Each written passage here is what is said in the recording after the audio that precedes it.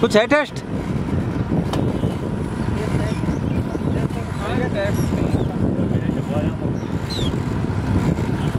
भैया टेस्ट नहीं बता रहे हैं।